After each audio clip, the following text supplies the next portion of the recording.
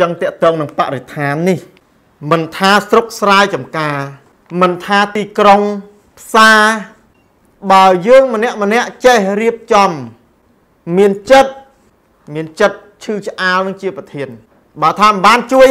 មើលណាធំដុំទេធំតែផ្លូវមុខផ្ទះខ្លួនឯងនឹងស្អាតទុំស្អាតតែក្នុងផ្ទះអ្នកនៅភ្នំពេញភិកច្រើនស្អាតតែក្នុងផ្ទះតាមផ្លូវឬក៏គៀនកលៀតគៀនកោះឲ្យសិតតែដីហើយផ្លូវយ៉ាងដែរ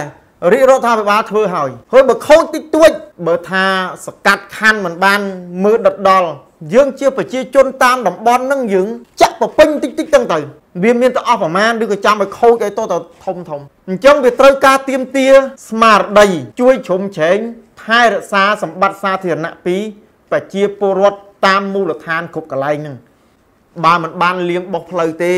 បើខាងសកាត់ខណ្ឌគេមិនធ្វើយើងធ្វើម្នាក់តិចម្នាក់មិនតិចទៅស្អាតហើយ កុំឲ្យហុយសប្រងពេញវាលចឹងតែនឹងមួយក៏ត្រូវតែធ្វើមិនថាតាមផ្លូវតាមស្ពានតាមអីឃើញថាវាពិបាកមើលខ្លាំងនៅតាមរាជធានីនេះដែលទៀមទីឲ្យមានបំផុសចលនាឡើងហើយបើសិនជាមានចលនាបំផុសខ្ញុំនឹងជួយ ជាកញ្ចប់វិភាគទានសម្រាប់ជួយ ត្រួតត្រងនៅលើ ផ្នែកការថែទាំសម្បត្តិសាធារណៈ បរិស្ថាននេះឲ្យកាន់តែស្អាតហើយបើសិនជាខ្ញុំមើលឃើញថាมันមានសកម្មភាពធ្វើទេខ្ញុំនឹងរៀបកម្លាំងធ្វើនៅពេលបន្តិចទៀតនៅពេលដែលខ្ញុំរួចរវល់តែឥឡូវខ្ញុំអំពាវនាវសិនបើសិនជាអាចឃើញថាចាប់ផ្ដើមផុសផលធ្វើ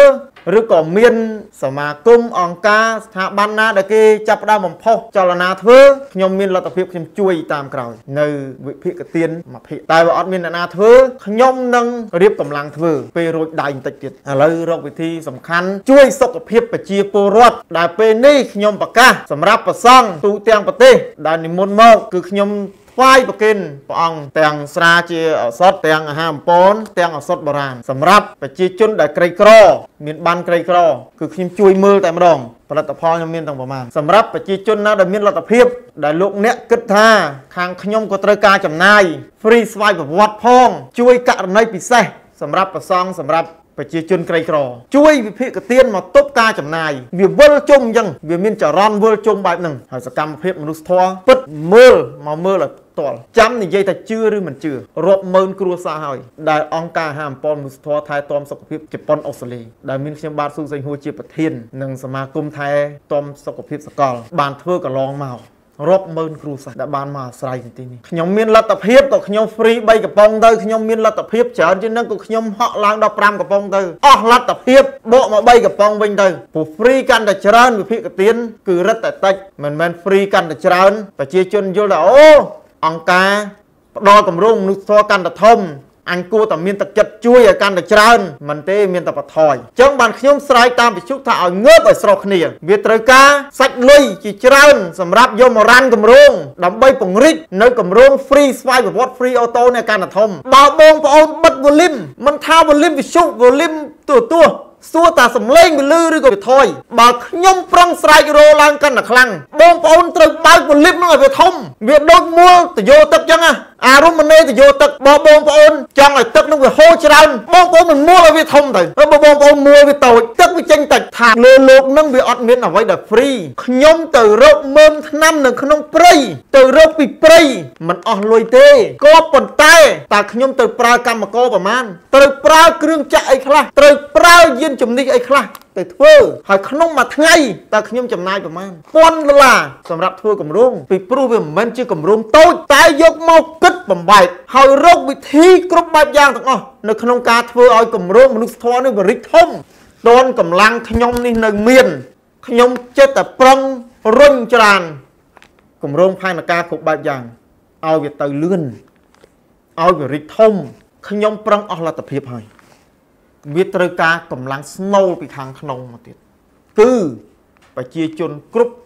25រាជធានីខេត្ត ដែលត្រូវងើបជ្រងជួយគ្នាម្នាក់ម្ដាច់មួយជើងគម្រោងទាំងអស់វាប្រកាសជារីកធំលឿនណាស់កុំតែអោបដៃមើលកុំតែសង្ស័យកុំតែមានគំនិតគិតអវិជ្ជមានមកឈោមគ្នាស្រោគ្នាទៅលឿនហើយចឹងតកតងនឹងបរិស្ថានបរិស្ថានស្អាតនាំមកនៅសុខភាពល្អការរស់នៅល្អវាត្រូវការការចូលរួមពីប្រជាជនទូទាំងប្រទេស នៅក្នុងការទម្លាប់រស់នៅស្អាតបរិស្ថាន ការច្នៃធ្វើឲ្យប្រទេសខ្មែរយើងទៅជាប្រទេសបៃតងប្រទេសយើងពីមុនសម្បូរព្រៃតែឥឡូវនេះយើងត្រូវប្រយ័ត្នបើយើងមិនខំថែរក្សាយើងមិនខំដាំដុះបន្ថែមមកទេយើងនឹងបាត់រូបភាពពណ៌បៃតងដូច្នេះយើងត្រូវភ្ញាក់រលឹកទាំងអស់គ្នាផងដាំដើមឈើឡើងពិសេសដើមឈើហូបផ្លែក្នុងស្រុកក្នុងអីនេះវាចំណេញសេដ្ឋកិច្ចគ្រួសារផងដែរតាក់ទងនឹងបរិស្ថាននេះ ការប្រើប្រាស់ទឹកក៏ជារឿងសំខាន់បងប្អូនណាដែលគាត់ជីកដងគាត់ត្រូវធ្វើប្រគុណឲ្យឆ្ងាយយ៉ាងតិចណាស់20ម៉ែត្រហើយប្រគុណនឹងទៀតឧទាហរណ៍សន្តានដីមកអញ្ចឹងបើគាត់ធ្វើប្រគុណនៅលើដងសួរតែយ៉ាងម៉េចអញ្ចឹងក៏គាត់ត្រូវចេះគិតតាក់ទងនឹងបរិស្ថានដូចជាការប្រើប្រាស់អ្នកដែលនៅទន្លេបឹងបួរស្ទឹងអីដែលមានទឹកច្រើនក៏ត្រូវតែថែរក្សាដែរបើគាត់យកកៅអៅយកទៅបោក ហើយចាក់ទឹកសាប៊ូចូលហើយយកគោយកសัตว์យកអីទៅមួចកន្លែងដែលទឹកប្រើប្រាស់អាហ្នឹងក៏វាធ្វើអីក៏ខ្វក់ការធ្វើប្រគុណនៅក្នុងទឹកដែលប្រើប្រាស់ជាសាធារណៈគឺបំផ្លាញបរិស្ថាន បំផ្លាញទឹកស្អាតរកការជាអាហារបំពន់និងឱសថបុរាណពីខាងយើងខ្ញុំបងប្អូនមិនត្រឹមតែទទួលបានការថែទាំសុខភាពប្រចាំខែនោះទេគឺបងប្អូនថែមទាំងបានចូលរួមជួយដល់ប្រជាជនខ្មែរដែលគ្មានលទ្ធភាពដើម្បីថែទាំសុខភាពផងដែរ